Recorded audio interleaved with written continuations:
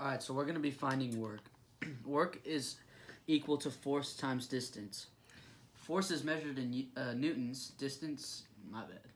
Alright, let's, let's go, let's go. Come you can you keep going. what do you mean? You, you, like to start over? cut it, yeah. Alright, uh, so we're going to be finding work. Work is equal to force times distance. Force is in newtons, distance is in meters, and work is in joules. So this is a two-step equation. So to get force, you're going to multiply mass times acceleration. We are already given mass and acceleration in the charts over here.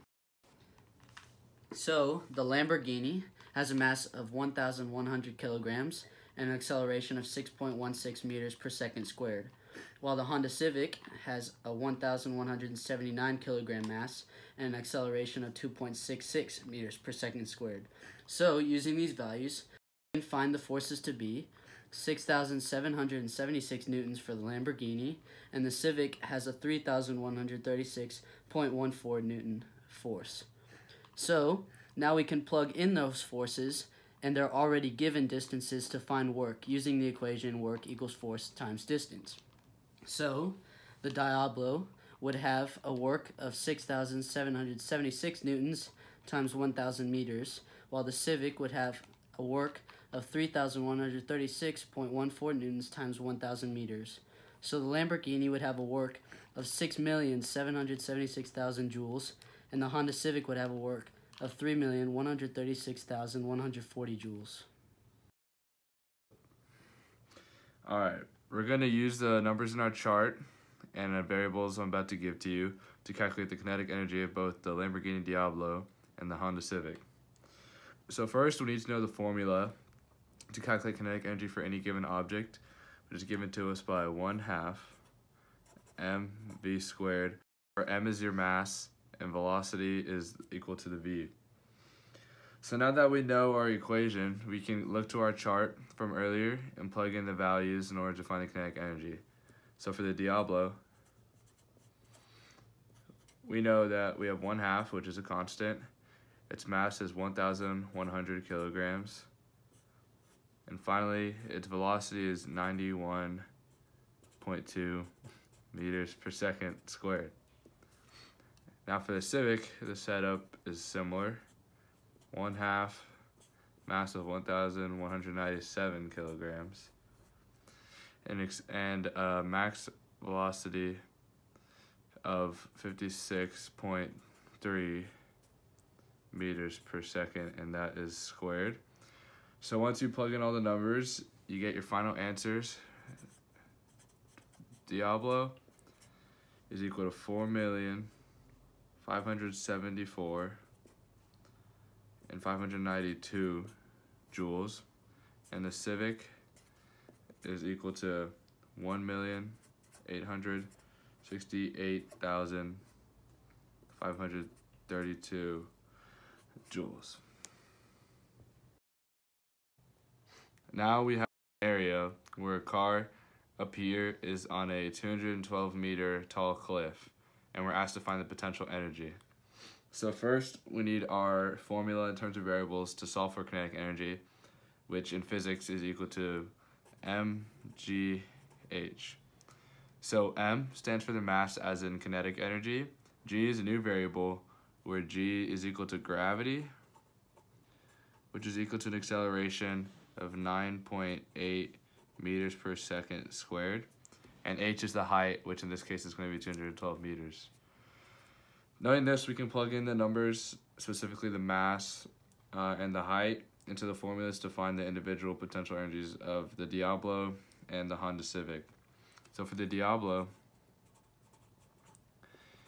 you have the mass of 1,100 kilograms times 9.8 for the gravity times 212 meters. And for the Civic, you have the mass of 1,179 kilograms times 9.8 times 212, which gives you final answers of the Diablo being equal to 2,285,360 joules, and the Civic is equal to 2,449,490.4 joules of potential energy. So now we're going to be working, uh, looking at, sorry, all right. Now we're going to be looking at the work energy theorem. So we're going to use the formulas kinetic energy equals 1 half mv squared and equate it to work equals force times distance to solve for this theorem. Notice that 1 half mv squared and force times distance must equal each other for this to work. We'll be solving for the force of the crash and the brake forces needed to stop the car, and to do so we'll divide by the distance at the end. We already have the kinetic energy of the two cars, which would be the Lamborghini Diablo with 4,574,592 joules and the Honda Civic with a total kinetic energy of 1,868,532.255 joules. So now we just need to divide by the stopping distances to find their force. So we're going to use the formula 1 half mv squared over the distance, which would be the Diablo with its kinetic energy over its distance, and the Civic with its energy uh, over its stopping distance. So the brake forces needed to stop the car are for the Diablo 131,832.6225 newtons and for the Honda Civic 49,827.5268 newtons. Our last problem is going to be solving for power. In order to solve for power, we need to know our formula in terms of the variables. So the formula for power is equal to work in terms of joules over time in terms of seconds. So knowing that simple formula and knowing our work from previous calculations, uh, we can find the power of the Diablo and Honda Civic over a given time period. So our Diablo equation is going to use its work from earlier of this amount and divide it by 14.81 seconds.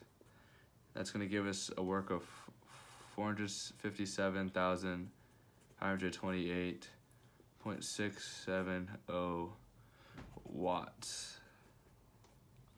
And then for the Civic, it'll similarly be 3,136,190 joules over a time period of 21.17 seconds, which is equal to 148,140.765 watts. So using these two, we need to now find how many 100 watt light bulbs they could each power, which is as simple as taking these two numbers and dividing them by 100. So I'll save the writing and show you the answer. So for the Diablo first, it's uh, this number we're going to divide it by 100, which is equal to 4,575 bulbs powered. And then for the Civic, we're going to take this number and divide it by 100, and it's going to be 1,481 bulbs.